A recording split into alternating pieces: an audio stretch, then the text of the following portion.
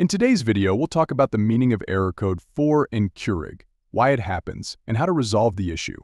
What does error code 4 mean?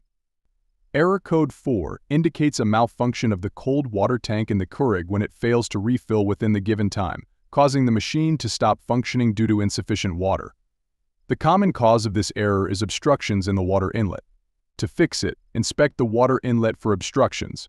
First, Disconnect the Keurig from the power source and locate the water tank at the back. Inspect the water inlet from the water source to the machine, checking for any objects or debris obstructing the water flow.